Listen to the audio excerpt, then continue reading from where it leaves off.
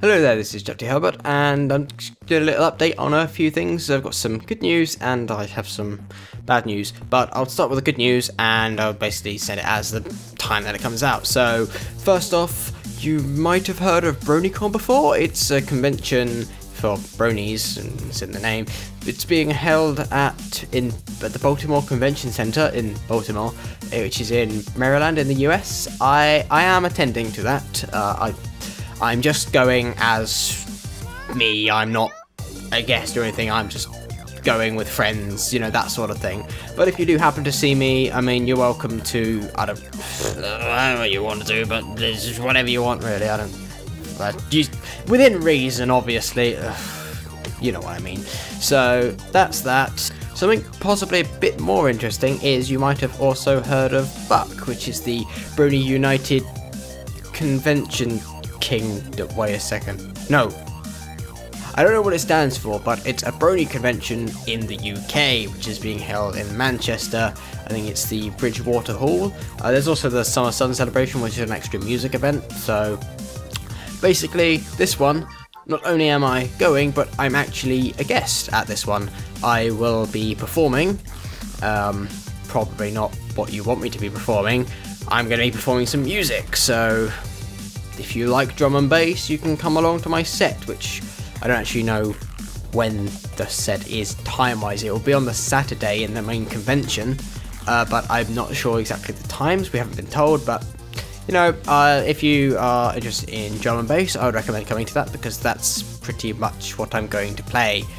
Yeah, so uh, I feel I should probably um, I'll list you some of the other guests going to to uh, Buck in case any of them make you want to go as well as uh, I don't know. Uh, again, if you see me at any point, you can. Whatever, I'm I'm cool with that. But other other guests, some of them I know, some of them I'm friends with. But I'm just going to read them all out in case you have interest in any of them. Living Tombstone, Wooden Toaster, Acoustic Brony, Laser Pone 3, or Laser Pone, I should say.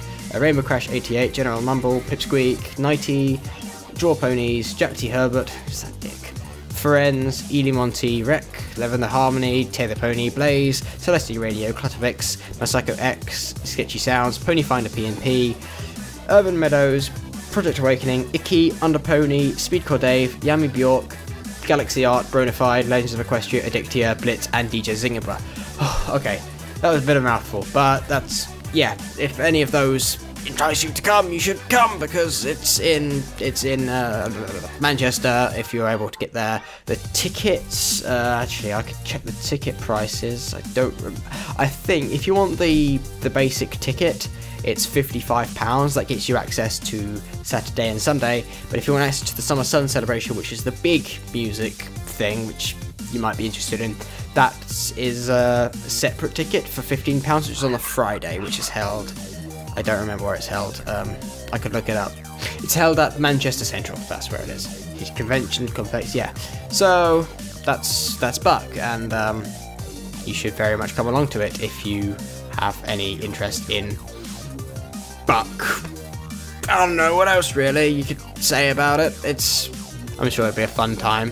The other thing that I forgot, uh, my friend Tom, also known as Dragla, the person who makes these plushies, is also going to be at Buck, and he's got a vendor table there. So if you want to buy some of those plushies, you can get them from him at the table. That'll be there. You can also, I think you can order them in advance, and he'll keep it there for you. I'm not sure, but uh, I'll link his stuff in the description anyway, so you can sort that out for yourself. Only, only really ask about it if you actually have the money to pay for it, because he does get a bit of um, people just asking for them for free, and like he can't do that. He needs the the full price for it. It's, I believe it's, I might be wrong, but from memory, I think this size one is thirty pounds and this size one is 60 I think it's been a while so I don't really remember but I'm, I think the prices are listed on his page anyway and so that you can either order them and then pick them up at the con or have it delivered or I, I don't know it's whatever you want really I think. Now moving on to some of the bad news. Uh, this is just mostly personal problems really.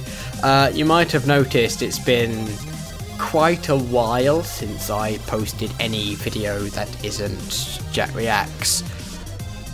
I've not, like, I, I have rec tried recording more of the Let's Plays and stuff, but it's really not going well, like, the commentary is rubbish, a Banjo Tooie I keep getting lost, and it's not, not, it's not fun to watch, and because I am trying to make it fun to watch, it's not fun for me to play, which just in turn makes the video rubbish, and I don't want to waste your time with it. Coupled with the fact that, going to be completely honest, not all that many people watch those ones. I mean, I'm, I'm thankful for everyone who does, but when 20, there's 27,000 people who choose not to watch it, I should probably spend my time on something that people would want to watch, or something that gives me personal enjoyment, or something like that, because it's just.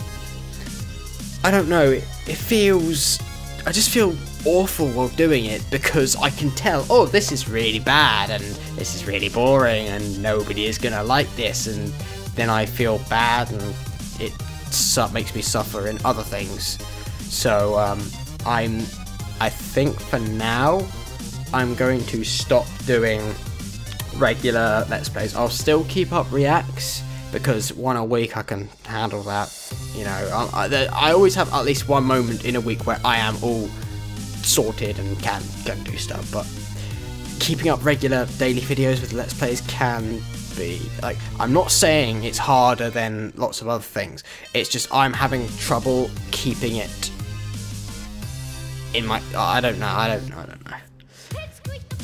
I think that pretty much wraps up everything I need to say. Uh, once again, I'll say I, am going to BronyCon. You can see me there. You can, I'm going to Buck as a guest, and so you can definitely see me there if you go to the right place at the right time. It will be in the. I'm guessing it will be in the con book when you get there. I mean, I, I don't know exactly the schedules and stuff. So yeah, it'll, it'll be there, and so yeah, that'd be it'd be easy to find me there. Probably less easy at BronyCon because I'm not going to be anywhere specific at a specific time. So yeah, um, I think that's pretty much it. So thank you for watching, and I'll see you next time.